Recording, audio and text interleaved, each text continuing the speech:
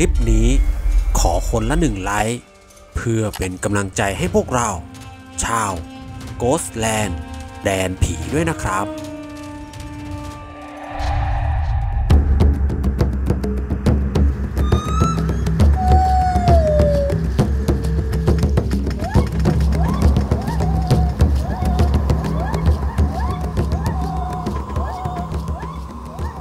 ป่าทึบลุ่มแม่น้ำสารวิน สมัยเมื่อเกือบร้อยปีก่อน นอกจากมีสัตว์ป่าชุกชุมแล้ว ก็ยังมีผีป่าหลายชนิด แฝงตัวอยู่ในพงลึก คอยเล่นงานเหล่านายพราน ที่เข้ามาในอาณาเขตของพวกมัน พวกผีเหล่านี้ บางที่ก็ออกหากินเป็นฝูง บางที่ก็หากินเดียว มันมักแปลงตัวมาเป็นสัตว์ ที่นายพรานต้องการจะล่า ล่อพรานที่อ่อนประสบการณ์ ไปให้สัตว์ร้ายทำอันตราย ส่วนผีกองก้อย ก็มักจะแอบมาดูดเลือดคนกิน แม้จะรู้ว่าในป่ามีอันตรายอยู่ทุกฝีก้าวหากเพราะความจำเป็นที่จะต้องเข้าป่า เพื่อหาของป่า และล่าสัตว์เอามาขาย หรือเอามาทำเป็นอาหาร พรานถมกับพรานเยี่ยมจึงเข้าป่าไปล่าสัตว์ ตามวิสัยของนายพราน โดยไม่ได้นึกหวาดเกรงต่ออาถรรพ์ของป่า เพราะต่างก็มีคาถาอาคมที่เข้มขลังพอสมควร ประกอบกับจิตใจอันห้าวหาญตามประษาคนนุ่มพรานถม มีของขลังเป็นยันแปดทิศ ที่มีอนุภาพกันผีป่าได้ทุกชนิด ส่วนพรานเยี่ยมก็สักยันเสือครามไว้กลางอก ยันนี้มีอนุภาพข่มสัตว์ร้าย ไม่ให้เข้ามาใกล้ในยามที่ตัวเองต้องอยู่ในป่า จุดหมายคือ โป่งดิน ที่มีสัตว์สารพัดชนิดมาชุมนุมกัน เพื่อจะไปขัดห้างยิงสัตว์ แต่ระยะทางยังเหลืออีกไกล มาได้ครึ่งทาง ก็เป็นเวลาที่พระอาทิตย์ตกดินพอดี พรานเยี่ยมมองเห็นมีถ้ำอยู่ติดกับลำธาร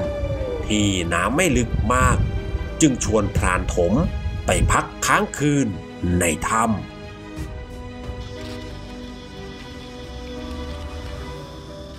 เมื่อหาฟืนมาก่อไฟเสร็จ พรานถมจึงเขียนยันแปดทิศ ลงคาถาปลุกเสกกำกับ เพื่อให้ยันช่วยป้องกันภัย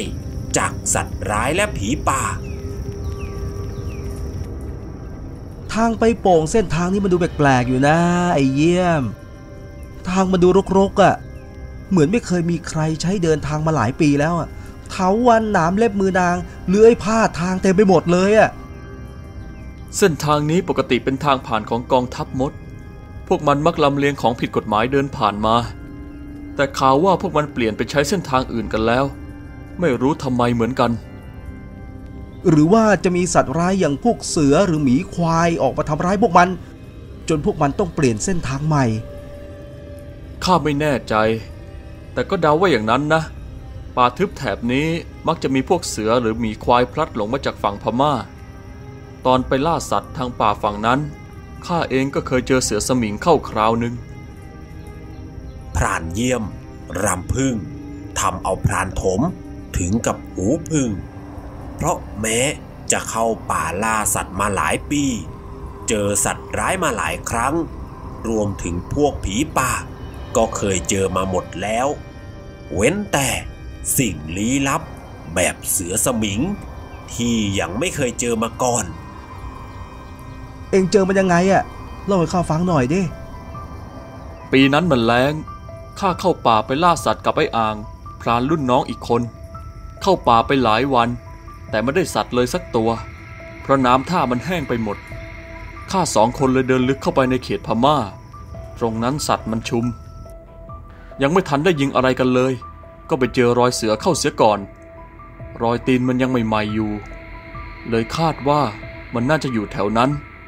ข้ากับไอ้อ่างเลยพากันขึ้นไปขัดห้างบนต้นไม้ หวังจะยิงเสือ พอตกดึกคืนนั้น ก็มีผู้หญิงคนหนึ่งเดินถือคบไฟมาแหงนหน้ามองอยู่ใต้ต้นไม้ แล้วร้องชวนให้พวกข้าไปกินลาบเก้งที่บ้านตัวเอง แบบนี้มันผิดปกตินี่ว่า ก็ใช่นะสิผู้หญิงที่ไหนจะมาเดินอยู่กลางป่าคนเดียวค่ำๆมืดๆแถมยังมาชวนไปกินลาบเก้งที่บ้านตัวเองเสียอีกข้าเลยแกล้งร้องถามลงไป ว่าตัวเธอเป็นใคร มันก็บอกว่ามีบ้านอยู่แถวนี้อุบายตื้นๆใครจะปัญญาอ่อนไปเชื่อมันวะ แล้วพวกเองทำไงต่อ ถามได้ พวกข้าก็ปฏิเสธมันไปสิวะ มันทำท่าฮึดฮัดที่พวกข้าขัดใจมัน พอมันปักคบไฟไว้ที่พื้น แล้วตั้งท่าจะปีนต้นไม้ขึ้นมา ข้าเลยซัดเข้าให้ไปโป้งหนึ่งโดนหน้าอกมันจังๆ เสียงมันร้องดังโฮกลั่นป่า กลายร่างเป็นเสือตัวเบอเริ่ม ตกลงไปนอนกลิ้งอยู่ข้างล่าง ไอ้อ่างซัดซ้ำเข้าไปอีกโป้ง มันนอนดิ้นกระเดวกระเดวแต่ไม่ยักกระตาย แถมยังลุกวิ่งหายเข้าไปในป่าอีกด้วย พวกเองก็เลยตามมันไป ตามไปก็บ้าสิวะค่ำมืดแบบนั้น ขืนตามไปก็โดนมันดักขย้ำเอานะสิ ข้ารอจนถึงเช้า แล้วค่อยพากันลงจากต้นไม้มา เห็นรอยเลือดมันหยดเป็นทางเข้าไปในพง แต่พวกข้าไม่กล้าเสี่ยงตามไป รีบพากันออกจากป่า ไม่ได้สัตว์มาเลยสักตัวเดียว จากนั้นข้าก็หยุดล่าสัตว์ที่ป่านั้นไปนานเลย มีแต่ไอ้อ่างที่มันยังไปอยู่ แล้วเข้าป่ามาคราวนี้ เองไม่กลัวประวัติศาสตร์จะซ้ำรอยเดิมเหรอวะ บางทีอาจจะมีเสือสมิงอยู่ในป่านี้ด้วยก็ได้นะเว้ยพรานถมพูดล้อเล่น ทำเอาพรานเยี่ยม มองตาขวาง พูดเสียงเข้มว่า เอ็งอย่ามาพูดพล่อยๆ เรื่องที่ข้าเล่าไม่ใช่เรื่องล้อเล่นนะเว้ยและถ้าข้ากลัวข้าก็คงไม่ตามเอ็งมาหรอก อีกอย่างข้าไปเรียนวิชาเสือคล้ามาจากอาจารย์ขาม ถ้าเจอเสือสมิงจริงคราวนี้ไม่มีทางที่ข้าจะเป็นฝ่ายหนีมันก่อนแน่ บอกพลาง แกะกระดุมเสื้อ แหวกอกเสื้อโชว์ลายสัก เสือครามกลางหน้าอก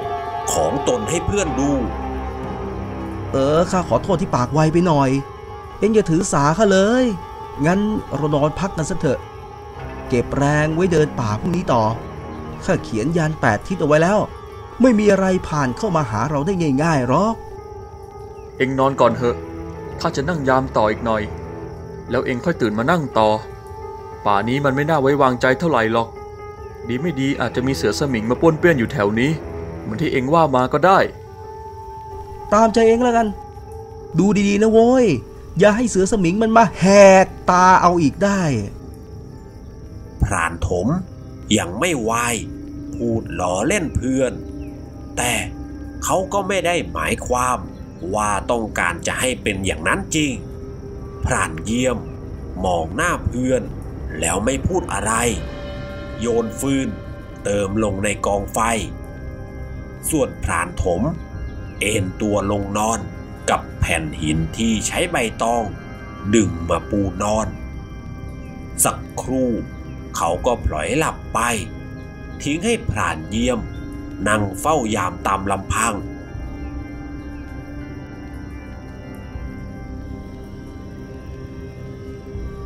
กลางดึกของคืนนั้นเอง สายลมได้พัดเอากลิ่นหอม ของดอกไม้ป่า ชนิดหนึ่ง ลอยมาเข้าจมูกของพรานเยี่ยม เขาสูดกลิ่นหอม เข้าปอดไปอย่างชื่นใจ พลันก็มีนกเขาแมวตัวใหญ่ บินมาเกาะที่โขดหินหน้าปากถ้ำพรานเยี่ยมมองดูมันแล้วก็โบกมือไล่ แต่ เจ้านกที่มีดวงตากลมใหญ่ กลับไม่ยอมขยับขยื่นไปไหน มันยังคงเกาะโขดหินแน่น จ้องตามองมาที่เขาเขมงพรานเยี่ยมรู้สึกไม่ไว้ใจนก แต่เขาก็ไม่ได้นึกหวั่นเกรงต่อมัน ทันใดนั้นเองก็มีเสียงผู้หญิง ร้องให้ช่วยดังขึ้น ที่หน้าปากถ้ำจากนั้นร่างของผู้หญิงในชุดเดินป่าคนหนึ่ง ได้เดินโซซัดโซเซ มาล้มแผลลงที่หน้าปากถ้ช่วยด้วยจ้าฉันหลงป่ามา เหนื่อยเหลือเกิน ขาฉันเจ็บ เดินไม่ไหวแล้วจ้ามาช่วยประคองฉันหน่อย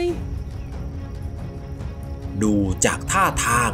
และการแต่งกายของเธอ ดูเหมือนเธอ จะเป็นพวกนักท่องป่า พรานเยี่ยมจึงคิดว่า หญิงสาวคงจะหลงป่ามาจริง ด้วยความที่เป็นคนจิตใจดี ไม่ทันได้คิดให้รอบคอบ เท้าก็ก้าวพรวดเข้าไปหาร่างของเธอเสียแล้ว พลันร่างของหญิงสาว ก็กลายเป็นเสือโคร่งตัวใหญ่ ยืนแยกเขี้ยว ตั้งท่าจะกระโจนเข้าใส่พรานเยี่ยม เมื่อรู้ตัวว่าพลาดท่าให้กับเสือสมิงไปเสียแล้ว ด้วยสัญชาตญาณของนายพราน เขาจึงยิงปืน ใส่มันทันทีความที่เร่งรีบทำให้หญิงพลาดเป้า อุ้งเท้าที่มีเล็บอันแหลมคม จึงตะปบเข้าที่หัวไหล่ข้างขวา กระชากเนื้อเป็นรอยยาว เลือดไหลทะลักชุ่มเสื้อผ้าเป็นวงกว้าง ทันทีนั้นเอง ก็มีมีดสั้นเล่มหนึ่งพุ่งไปปักกลางหน้าผากของเสือสมิงอย่างแม่นยำทำให้มันส่งเสียงร้องคำราม ดังก้องป่า เป็นฝีมือของพรานถมนั่นเอง ที่ตื่นขึ้นมาเห็นเหตุการณ์เข้าพอดี พรานเยี่ยมไม่รอช้า ระเบิดกระสุนตามไปอีกหลายนัดจนเสือร้ายสิ้นฤทธิ์ลง นอนชักกระตุกอยู่สองสามครั้ง ก่อนจะแน่นิ่งไป จากนั้นร่างของเสือก็กลายเป็นร่างอันแห้งเหี่ยว ของมนุษย์เพศหญิง ก่อนจะยุ่ยสลายกลายเป็นผงธุลีไป นายพรานทั้งสอง ถอนหายใจออกมาอย่างโล่งอก พอเหตุการณ์คลี่คลายลง พรานเยี่ยมถึงค่อยรู้สึกเจ็บแผลที่หัวไหล่ พรานถมล้วงยาสมุนไพรจากในถุงย่ามออกมา บริกรรมคาถา ก่อนจะโปกลง บนแผลที่หัวไหล่ให้เพื่อน เลือดก็หยุดไหลทันที เจ้านกเขาแมว มันไม่ยอมไปไหน มันยังเกาะโขดหินนิ่ง จ้องมองมาที่สองนายพรานอย่างสนใจ ก่อนจะกระพือปีกโผบินจากไป พรานถม มองตามตัวนกที่กำลังโผบินไป ด้วยความสงสัยในพฤติกรรมแปลกๆของมัน ที่ไม่เหมือนนกหากินตอนกลางคืนธรรมดา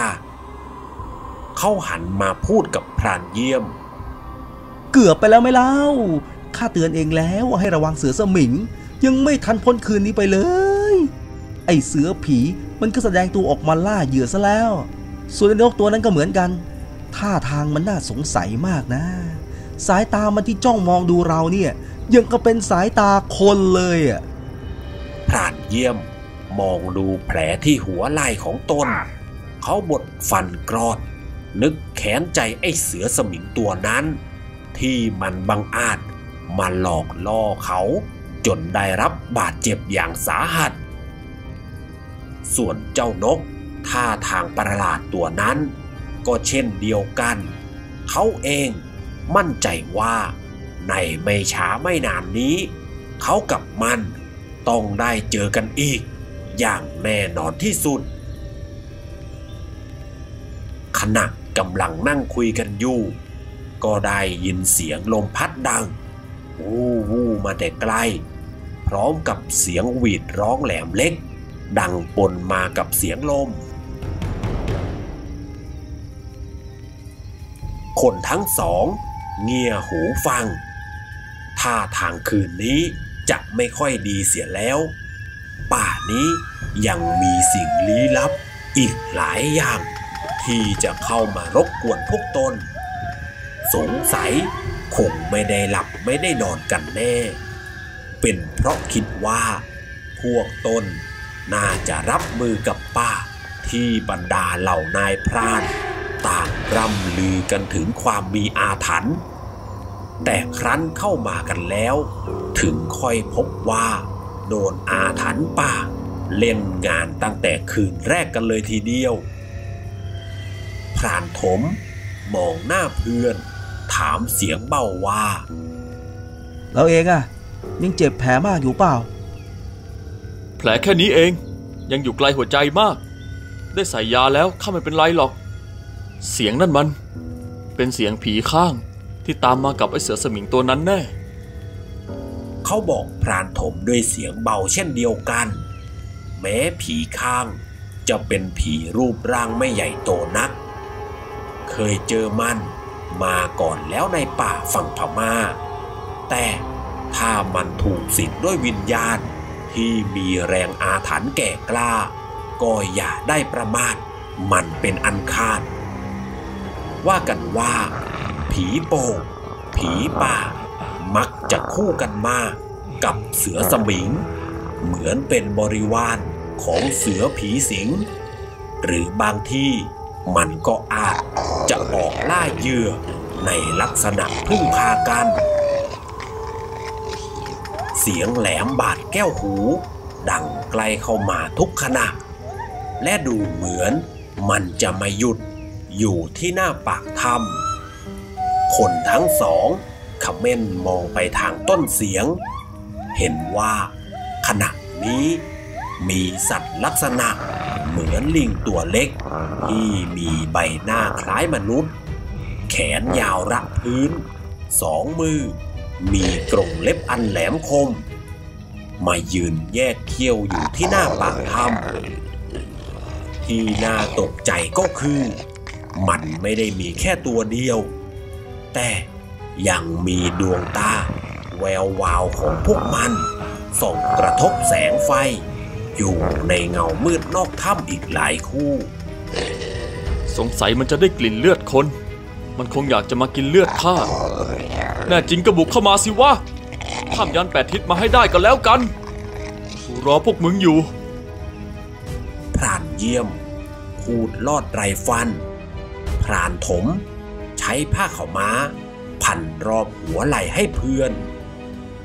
พรานเยี่ยม รู้สึก คลายความเจ็บปวดลงแล้ว จึงล้วงว่านจันหลงในถุงย่ามมาโยนเข้ากองไฟ เกิดควัน สีเหลืองฟุ้งขึ้นมา ส่งกลิ่นฉุนไปทั่วบริเวณ ฉับพลัน เหล่าผีข้าง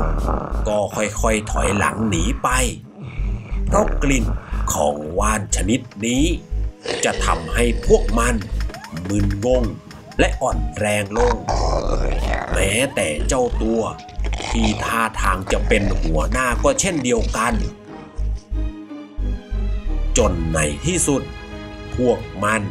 ก็พากันถอยหายเข้าไปในความมืด พรานถม ยิ้มมุมปาก หันไปบอกพรานเยี่ยมว่า เองอะนอนหลับให้สบาย แผลจะได้หายเร็วขึ้น นี่ข้าจะเฝ้ายามให้เอง ไม่ต้องห่วงนะ คืนนี้ไม่น่ามีอะไรแล้วมั้งพรานเยี่ยม ยิ้มให้คู่หู เขาเอนตัวลงนอน ด้วยความอ่อนเพลีย จากเสียแรงต่อสู้ กับเสือสมิง เพียงครู่เดียวก็หลับสนิทไป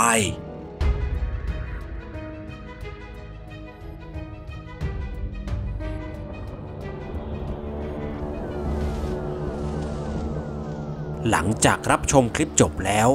ฝากเพื่อนๆ กดไลค์ กดแชร์ กดติดตาม เพื่อที่จะไม่พลาดคลิปใหม่ๆ ของพวกเราด้วยนะครับ